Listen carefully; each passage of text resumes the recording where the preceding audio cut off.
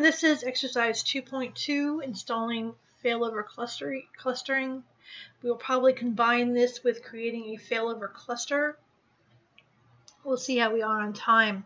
This is found in Lab 2, Configuring Failover Clustering, and the Configuring Advanced Windows Server 2012 Services R2, part of the Microsoft Official Academic Course in preparation for exam 70-412. So we're going to install failover clustering. So we're going to start by going into server 1. And as you can see, we're going to basically do what we do here in server 1. We're going to do this in server 2. So we're going to do this. I'm going to try and do simultaneously, but we'll see how that works. Alright, there's server 1. I'm going to close out of computer management. Um, Here is server 2. Move this over a little bit.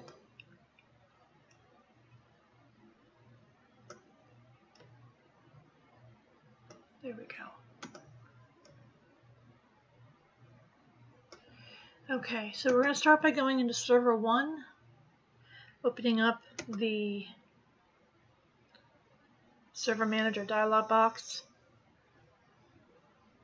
click on Manage, Add Roles and Features, Next, Next, Next, and then Next to Features. And we want to select Failover Clustering, which is right here. Add Features, Next, and then install. While that's installing, I'm going to jump over to server 2 and do the same exact thing. Manage, add roles and features. Next, next, next. And we're on server roles, next. Failover clustering add features, next, and then install.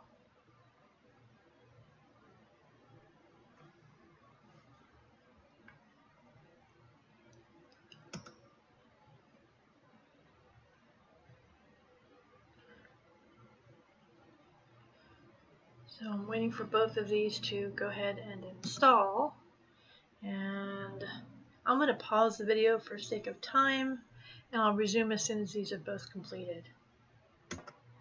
Okay, now I'm going to start exercise 2.3, which is creating a failover cluster. In this exercise, you're going to create a failover cluster using two virtual machines running Windows Server 2012 R2. We're going to look at the requirements used to create a failover cluster using the two servers. The approximate time for this is 25 minutes. So let's get started by going on to server 1. And I'm on server 1.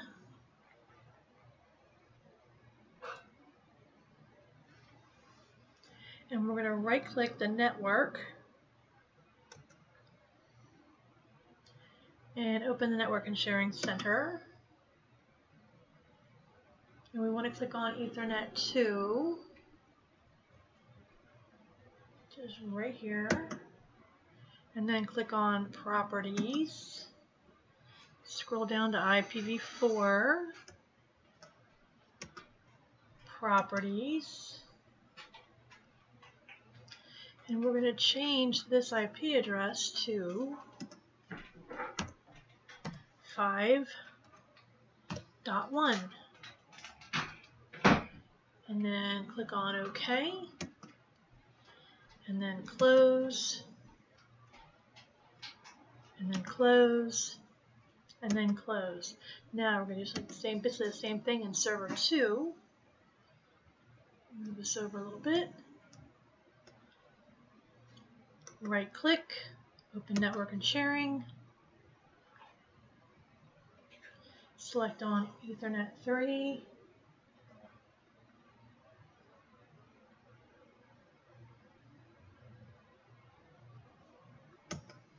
go into properties,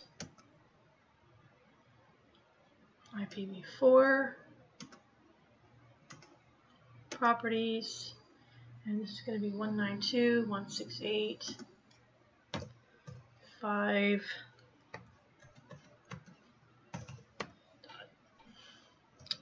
two, and then okay, close, close, close.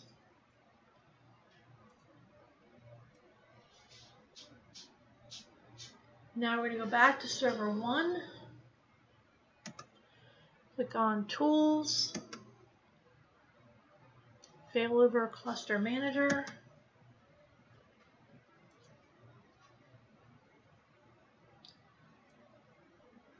In the Actions pane, we're going to click on Validate Configuration.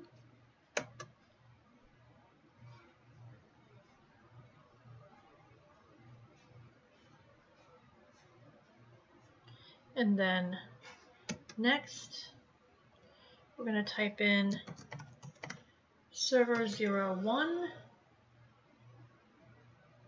and add, and then server 02 and then add, and then next. Uh, we're going to leave this marked and then click, uh, click on next.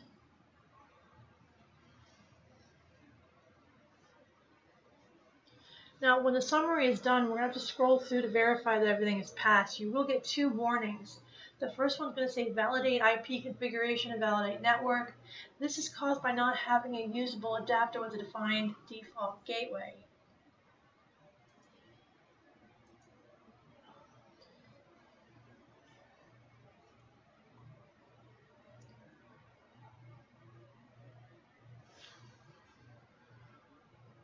Okay, so we're just going to scroll through. Thing looks okay. We're going to go and click on next.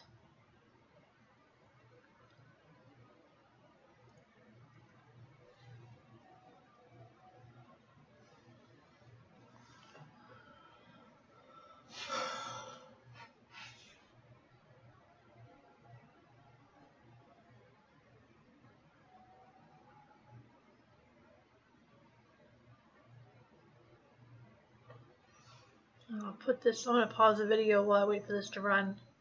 Okay, it looks like everything worked out fine, so I'm going to go ahead and click on Finish. And then click on Next.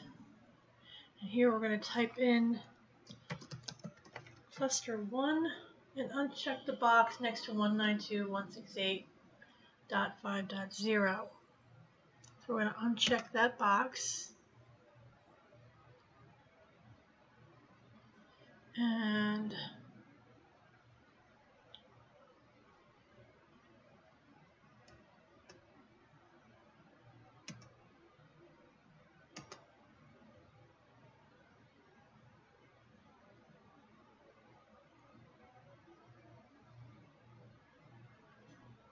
We have 192.168.1.0.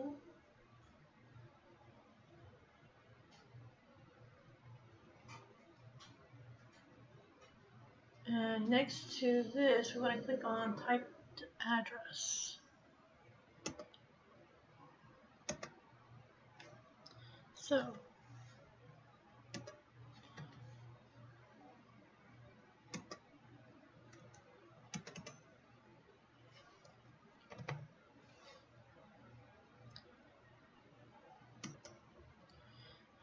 so I'm going to check both of these. And call this cluster 1.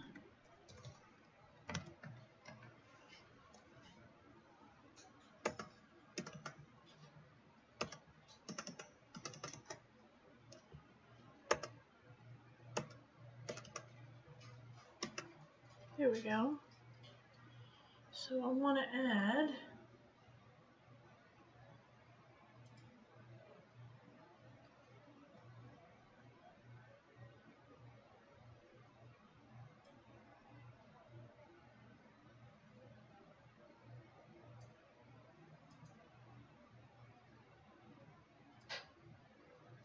One nine two one six eight.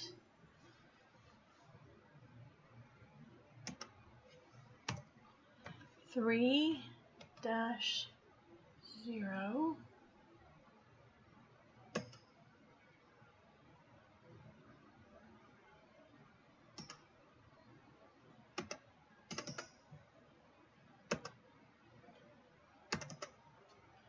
and this one should be 192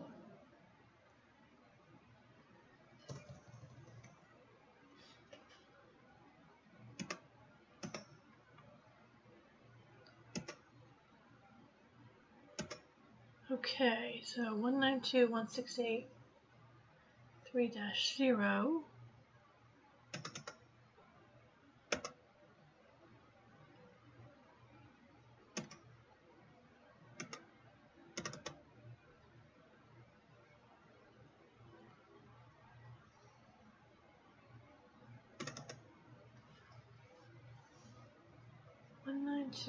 Six eight one dot five two. And then we should have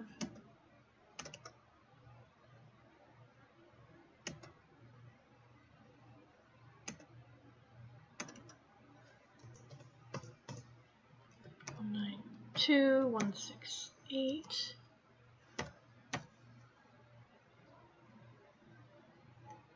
three zero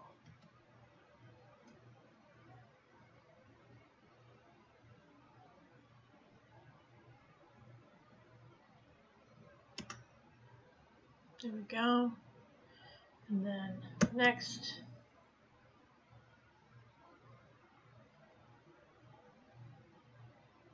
And then we want to add all eligible storage cluster already selected.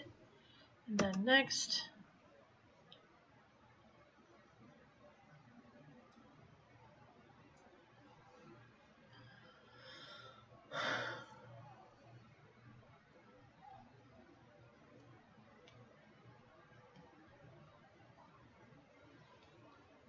Minimize server 2, just get that out of the way.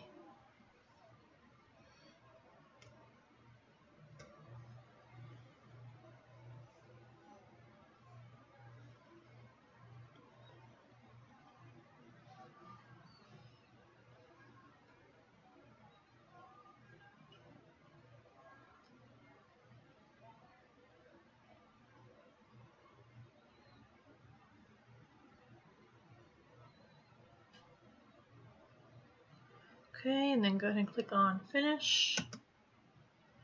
We want to expand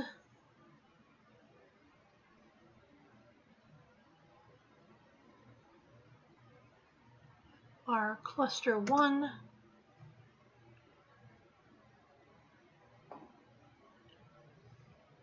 and this is the end of this exercise. The next exercise is going to be configuring the quorum.